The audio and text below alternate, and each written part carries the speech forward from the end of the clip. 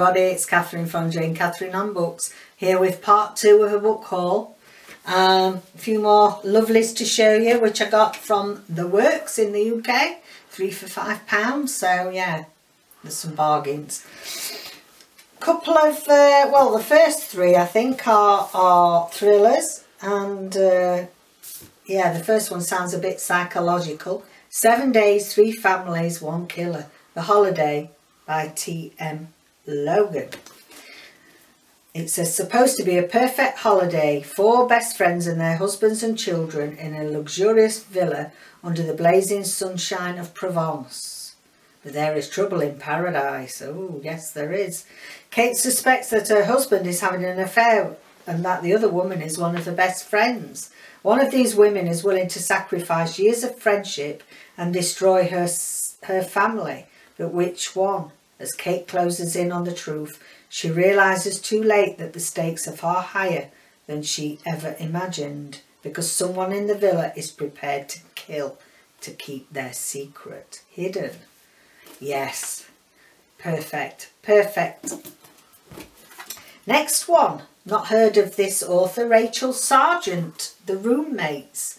And uh, I was intrigued to uh, to pick this up because um, if you recall, I read, yes I did, what's the one that I read that they were all sharing a house in London? Flatmates, flat share.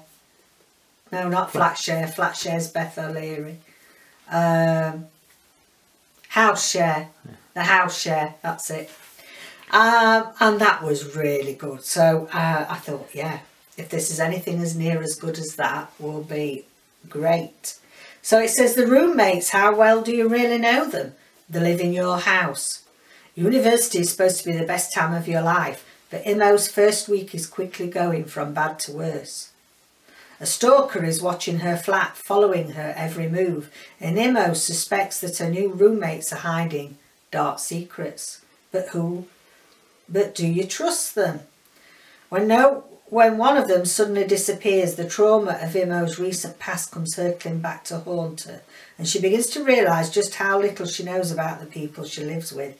Well, I, um, you know, I love, uh, I love books where there's a hidden secret from the past that comes back to haunt the person. You know, that's uh, one of the tropes that I love. So looking forward to that. The roommates. The Wives, Tarryn Fisher, another author I've not tried before. Uh, it says the international bestseller, Tarryn Fisher.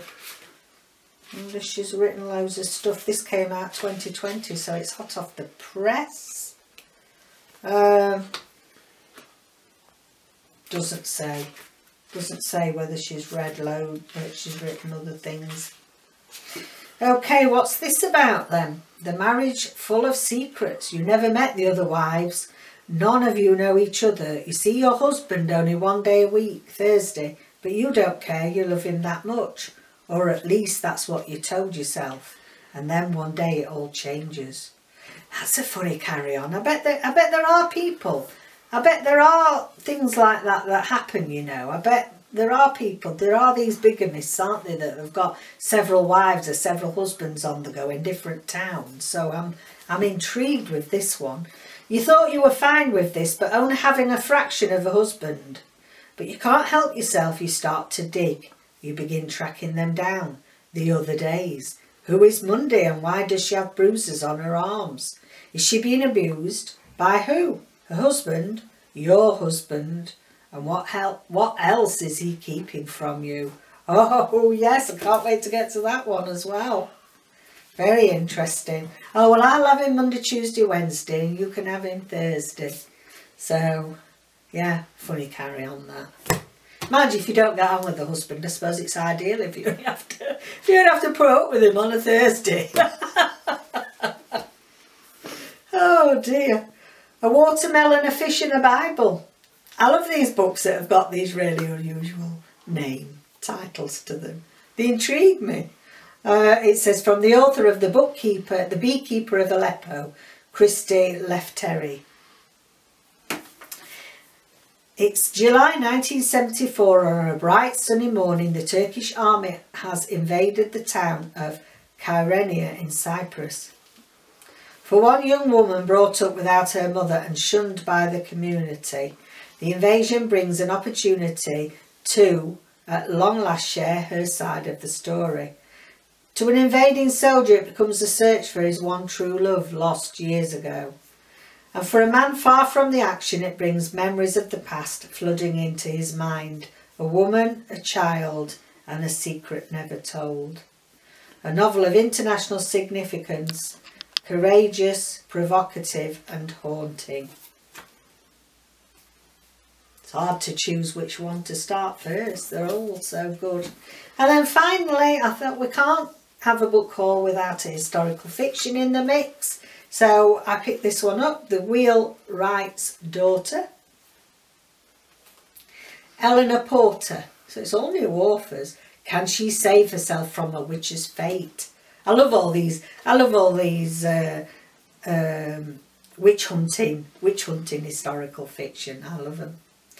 Martha is a feisty and articulate young woman, the daughter of a wheelwright living in a Hertfordshire village in Elizabethan England.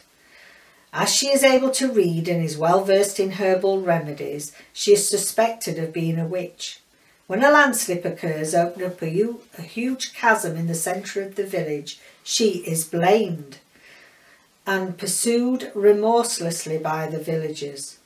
Can Martha's own wits and the love of a local stable hand Jacob save her from a witch's persecution and death? Fabulous. Fabulous, darling. So, I'm really pleased. I've, I've ended up with some really uh, exciting reads that I got from this uh, cheap book haul from the works in the UK. Um, you know, there's ones that I've been looking out for and uh, why pay full price when you can uh, wait a while and get three for five pound. That's what I think. Forever a Yorkshire woman, forever wanting a bargain, that's me. Anyway, thank you for joining me. Don't forget to like and subscribe. Keep safe out there. Take care. Bye for now.